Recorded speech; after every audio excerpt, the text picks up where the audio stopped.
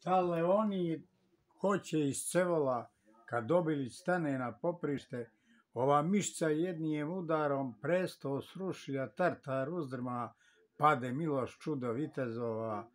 gordo leži veliki vojvoda, pod ključevima krvi blagorodne, ko malo pre što gordo iđaše strašno, mišlju prsi nadutije, kroz divjačne tmuše azijatske, gutajući ih vatrenim očima, prezirujući ljudsko ništavilo i pletenje bezumne skupštine. A ja šta ću, ali sa kime ću, jedna slamka među vihorove, sirijak tužni bez igde ikoga, pleme moje snom mrtvijem spava, suza moja nema roditelja, nadamnom je nebo zatvoreno, ne prima mi plača ni molitve, uad mi se svijet pretvorio, a svi ljudi pakleni duhovi.